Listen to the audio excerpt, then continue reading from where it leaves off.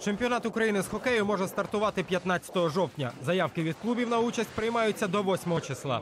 Про це домовилися у вівторок на засіданні наглядової ради професіональної хокейної ліги. При цьому ПХЛ призупиняє займатися проведенням чемпіонату.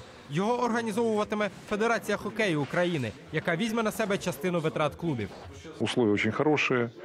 То есть федерация берет э, частично оплату расходов, которые связаны там, с сути- с судьями.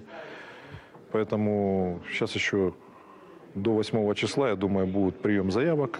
Если договора будут подписаны между федерацией и командами, то есть мы получим очень хороший чемпионат полноценный. Потенційно серед учасників чемпіонату вісім команд. П'ять з них вже подали заявки.